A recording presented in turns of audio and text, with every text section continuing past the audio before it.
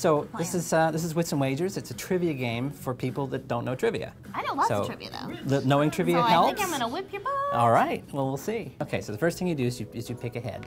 Okay. Right. This is going to be your character. You can pick anything. There's the crazy ones down there. Oh, that one. You can pick one. Yeah. Ooh, I wanna you be the like? You wanna silver be the, Terminator. you wanna be the uh, robot. Yeah. All right. So Now here, there's a question at the top. Oh. What? Right, How many so there's a times trivia greater was the question. population of California? 50.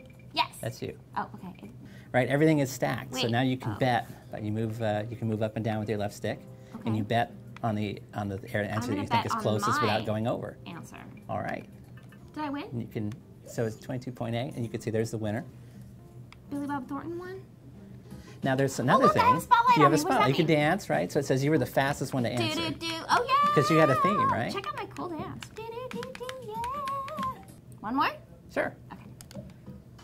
And this is gonna work over Xbox Live, right? Oh yeah. Now the thing that's different with this game and a lot of other games is you can play um, six people total. So you can play three people on on your couch, three people on somebody else's couch, and have. Oh, a have a big game. Ew, what is that hideous dress I'm wearing now? What is Now this? you got a kind on of a prairie? it's, it's, uh, it's uh, science and tech. So you got kind of a Oh, lab coat thing going on. I kind of rule at this stuff.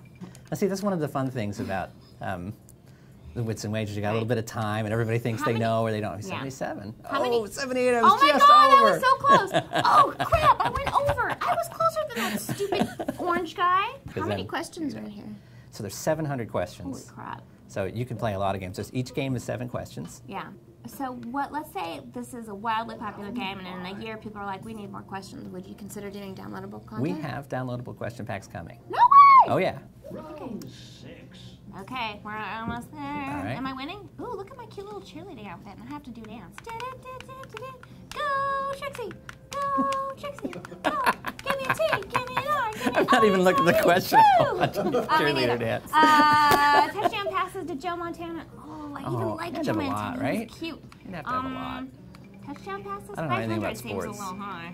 I don't know. I, I think don't he was playing How for a long time. How many touchdowns would you throw in? Uh, yeah, he was kind of old. Did I win? 273.